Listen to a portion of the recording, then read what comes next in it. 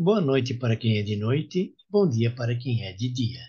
Eu sou João Batista e no programa de hoje eu vou falar sobre o tema oculto, escondido, ocultismo. Qual é o seu significado? Bom, para quem não me conhece, eu sou pesquisador bíblico, ufólogo, espiritualista e pesquisador da viagem no tempo. E como eu disse, então, vamos direto ao nosso assunto. Ou seja, qual o significado de oculto, escondido, ocultismo? O termo oculto designa algo ou algum conhecimento que é mantido escondido das outras pessoas, simplesmente isto. Algo que pode ser é, de determinada importância para quem possui esta informação e não a quer compartilhar com as demais pessoas. Portanto, ocultismo é simplesmente o que foi oculto, escondido de todos, nada mais do que isto. Normalmente, nestes casos, o detentor do conhecimento impede que todos o conheçam, para que somente ele ou quem ele queira tenha acesso a este tema. Uh, nós podemos dar exemplos atuais e antigos do oculto. Um deles, que é muito conhecido pela grande maioria das pessoas, é sobre a presença alienígena em nosso planeta.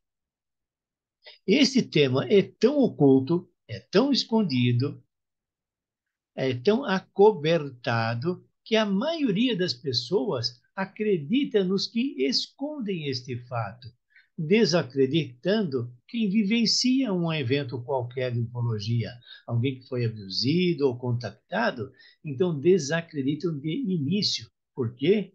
Porque o acobertamento, o que é escondido, o que é oculto, é de grande uh, fator na nossa, nossa, nossa sociedade.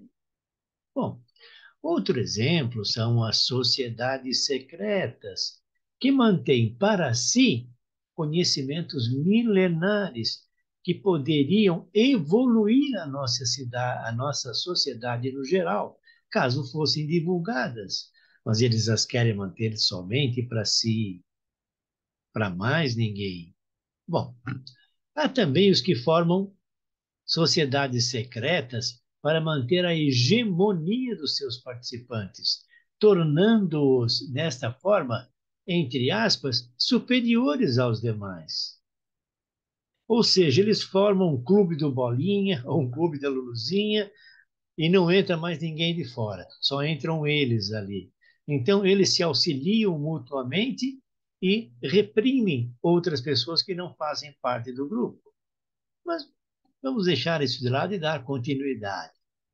Algumas sociedades secretas são cultualísticas, ou seja, que cultuam algo ou alguém, a respeito das quais eu tenho pouco conhecimento. Portanto, não vou abordar essa, essas sociedades secretas cultualísticas, mas apenas dar a pincelada dizendo que elas existem. Olha só, nós temos um exemplo mais antigo, que diz respeito aos pitagóricos, que guardavam para si, ou seja, o seu líder e os escolhidos do líder, os segredos da matemática e de outros temas. Acreditava-se que o conteúdo aprendido em sua escola era protegido por um voto de silêncio e podia ser transmitido apenas para os membros. Tá? Esses membros, no caso dos pitagóricos, eram escolhidos depois de uma etapa inicial em que ouviam silenciosamente Pitágoras, que estava escondido atrás de uma cortina. Bom, olha só o que pode ser em termos desses pitagóricos. Isso é apenas um, uma brincadeira, somente uma brincadeira. Não levem a sério mas é como se somente os membros do grupo pitagórico pudessem saber que um mais um é igual a dois. Mas ninguém podia saber isso. É claro que esse termo 1 mais 1 é igual a 2, estou usando apenas para uh, fazer uma brincadeira, mas eles escondiam toda a parte da matemática. Somente eles podiam ter o conhecimento da matemática. Por que, que hoje nós conhecemos a matemática? Porque houve dissidências dentro do grupo e esses dissidentes criaram novos grupos.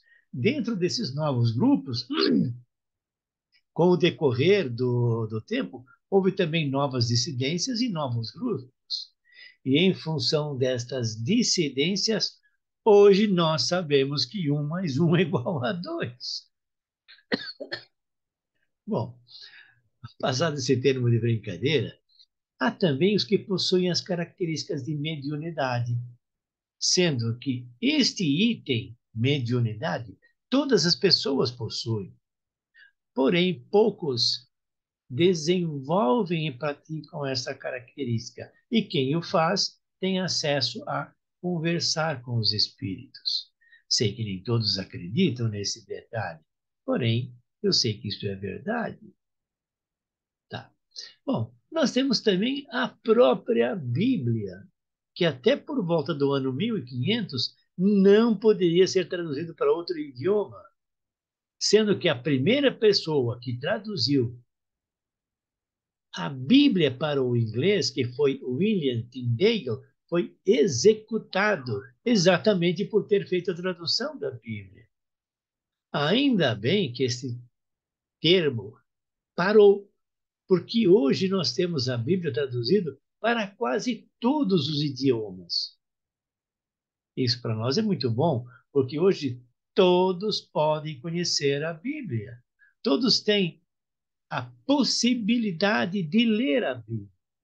Eu não estou dizendo que a Bíblia é uma expressão de verdade, que lá só tem palavras de Deus, porque, na minha opinião, a Bíblia contém palavras de homens e palavras de Deus. É preciso lê-la para conhecer.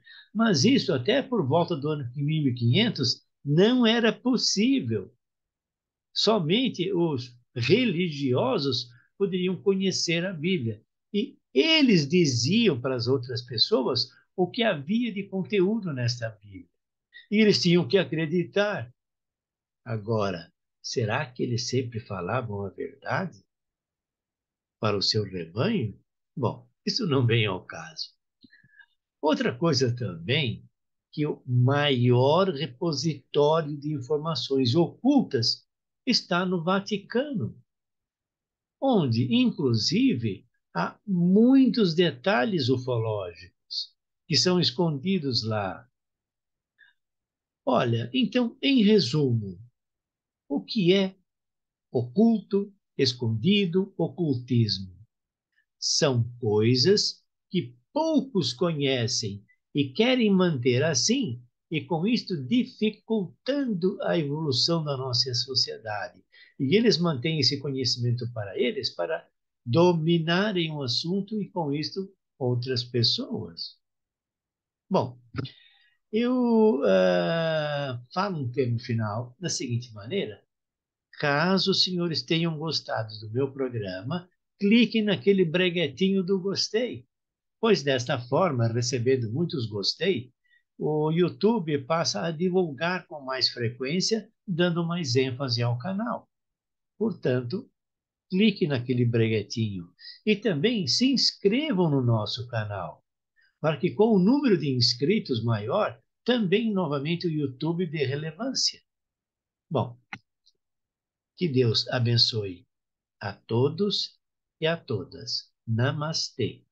Eu sou João Batista.